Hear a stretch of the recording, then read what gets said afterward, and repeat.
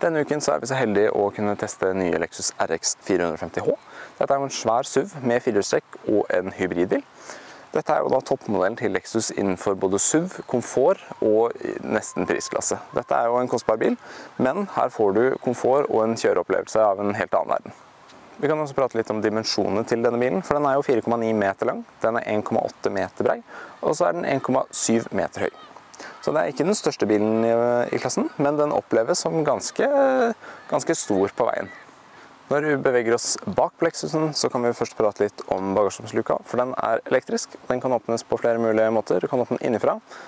Du kan dra foten under støtfangeren og åpne den hvis du har med poser. Eller i vårt tilfelle nå, fra nøkkelen. Når du åpner den, så har du tilgang til først 539 liter bagasjerom. Legger du den setene, så kan du få med opptil 1600 liter. Det er også mulig å få denne bilen her med hengefeste, og da kan du trekke to tonn.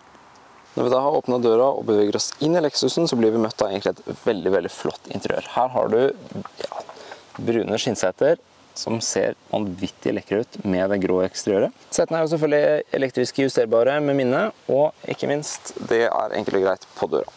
Du har jo selvfølgelig varme i rattet og justerbar styr, eller sånn eh, rattstamme. og har liksom, Her har du alt mulig rart du måtte ønske. En ting som er greit å tenke på er at Når du da setter deg inn i bilen, så vil setene gå tilbake igjen når du trykker på startknappen. De går da litt tilbake igjen, og det samme gjør styret for så vidt når du går ut av bilen eller skrur av. For enkelt og greit å komme seg inn og ut av bilen. Når vi da setter oss inn i Lexusen, så blir vi møtt av et veldig veldig flott interiør. Her føles alle mm, overflater og alt egentlig veldig gjennomført ut. Rattet er veldig godt og fint, det er godt og mykt, og det føles ganske dyrt ut. Noe selvfølgelig elementer fra Toyotaer finner man, blant Um, cruisekontrollspaken fra tidligere Toyota-modeller og knapper på rattet og litt sånne ting. Når man går til displayet, så blir du møtt av et analogt display med en liten sånn LCD-skjerm i midten. Veldig praktisk når du skal ja, bare finne litt sånn diverse informasjon. En ting som er veldig veldig positivt med denne bilen, her er jo head-up display. Når man blir vant til å bruke det, så er det selvfølgelig at da vil du jo ikke tilbake til noe annet. Veldig veldig enkelt og greit. Infotainmenten i denne bilen her er jo ikke akkurat den nyeste. Det er jo i sann klassisk Lexus-stil, operert av lille muse, musepaden her sånn. Med enkelt og greit kan du trykke på å bruke på en måte musa og vise hvor du skal. Trykker du på menyknappen i midten, så har du jo diverse menyer her sånn. Kan du bla gjennom og finne det du måtte ønske. Det er også et enkelt og greit ryggekamera, for så vidt. Ikke det mest avanserte. Der har du kun bakover og ikke et 360 graders kamera, f.eks. I midten her så finner du jo bl.a. kontrollene til aircondition og en veldig veldig fin klokke faktisk. Man, eh, mekanisk klokke i midten der.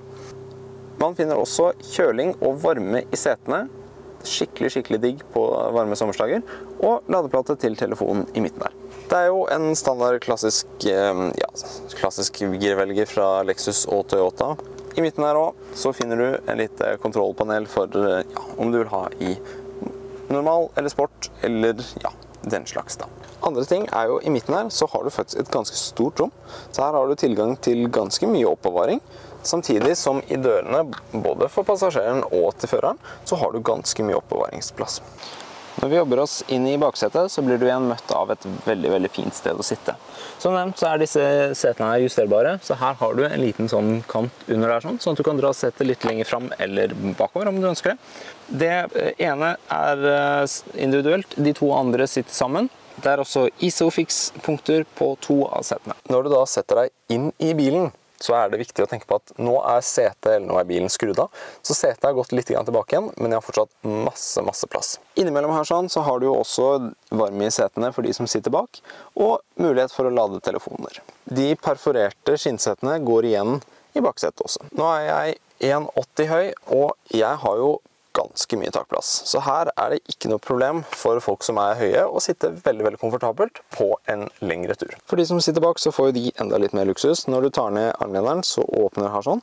Så har du et lite oppbevaringsrom til alt mulig rart. Det er faktisk ganske dypt, så du kunne fått plass til en del. Det er også koppholdere. Trykker på den knappen der, og så kommer koppholderen ut. Når vi da beveger oss inn i bilen, så kan vi prate litt om hvordan den er å kjøre. fordi dette er jo en stor SUV som konkurrerer med bl.a. BMW X5 og Volvo XC90. Eh, så her er det jo store, store konkurrenter som man må holde i tankene. Og Jeg syns jo at dette her er en bil som kjører vanvittig godt. Hybridmotoren er en 3,5 liter V6 med totalt 233 hester. Så det er ikke den sterkeste motoren, med tanke på at Volvo sin har jo 400 og noe. Dette er, en, dette er, jo en, bil som ligger veldig godt på veien, og det er jo veldig tydelig at Lexus har valgt å bygge denne bilen med komfort i tankene. En ting vi merker med Lexusen er jo at her har den blitt satt opp for ren komfort. Vi merker det at når du kjører over f.eks. litt eh, dårlig asfalt, eller om det er på en grusvei, eller det der, så tar fjæringen det meste. Testbilen vi i dag kjører er en eksekutiv utgave. Den starter på 776 000 kroner, men du kan også få den i en F-sport-utgave. Og du kan også få den i en eksekutiv Pano, da, som det heter. Disse ligger på rundt en million. Hvem er Lexusen for? Jo, eh, jeg vil jo helt klart si at dette er en bil for deg som kanskje har Om du har voksne barn, eller om du Men at du bare trenger generelt mye plass. Du kan jo også få denne bilen i en 450 HL-utgave. Da har den 11 cm lenger bakhende, og da kan du få den med syv seter. Hva er det vi ikke liker med, med Lexusen? Eh, det er egentlig ikke så veldig mye. Jeg syns jo at dette er en bil som har vært veldig veldig fin å ha med å, ha med å gjøre. Den har vært god å kjøre. Motoren er jo silkemyk, og, og, den bruker generelt lite på mila. Det eneste jeg kunne tenke meg, er at kanskje bilen var litt mer oppdatert innvendig. Er, utvendig så ser den jo ut som om den er veldig frem, ja, forut for sin tid. Men innvendig så syns jeg kanskje at Lexus har ikke gått så hardt ut når det kommer til interiør og, og den slags. Det er litt, litt, gammelt, hvis man skal si det på den måten.